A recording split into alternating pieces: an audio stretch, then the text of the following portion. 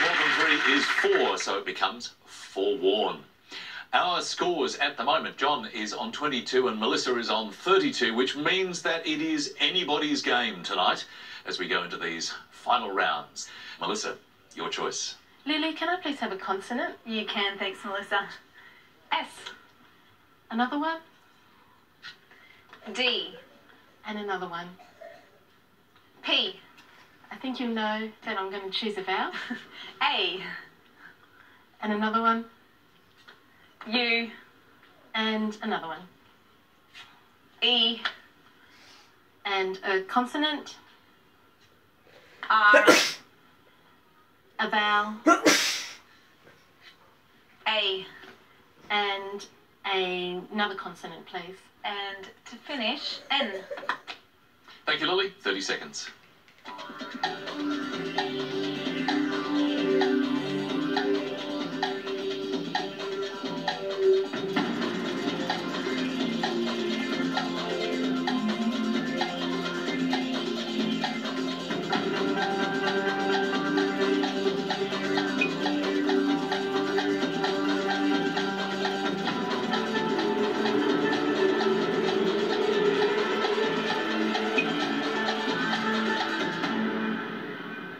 So did you like that one, Melissa? Um, I'm not sure. I got a six that time. Oh, six sounds good. Jon? I think I got a seven. Seven sounds, well, just a little bit better. But let's start with the six. Paused. And your seven? Spurned.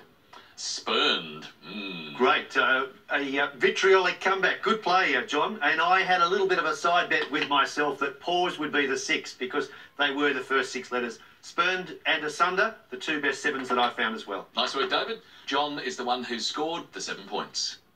So there's only three points between them now. Jon on 29, Melissa on 32 as we go into these final numbers for tonight. Jon, what would you like?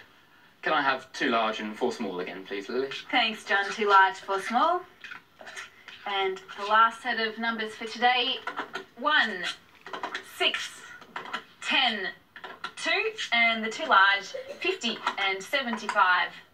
The target to reach is 885. Thanks, Lily. Let's head there.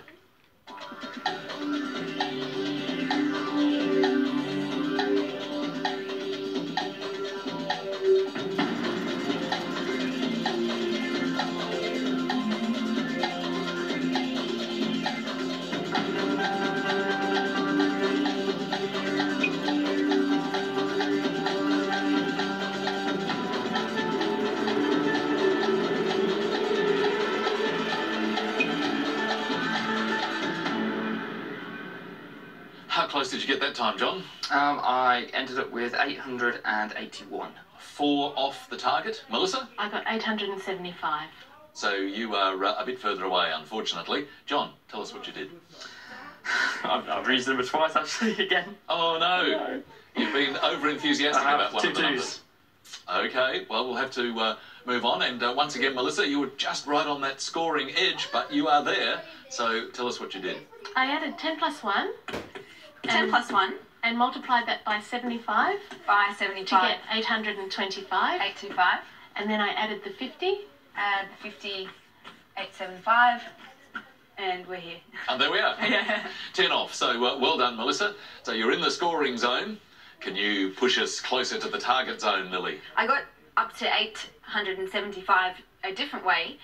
So if you add 50 and 75, which is 125, and multiply that by 6 plus 1, which is 7, which is 7 by 75, which is 525, and 7 by 50, which is 350, add them together gives you 875, and then add the 10 gives you 885. Nice work, Lily. Very elegant solution indeed. But Melissa, nevertheless, scores five points in that round. So that means Jon is on 29, Melissa is on 37. Well, it's been a close game all night, and it has come down to the final round because with 10 points at stake, it means that tonight's conundrum will be the decider. So let's reveal tonight's conundrum. Your time starts now.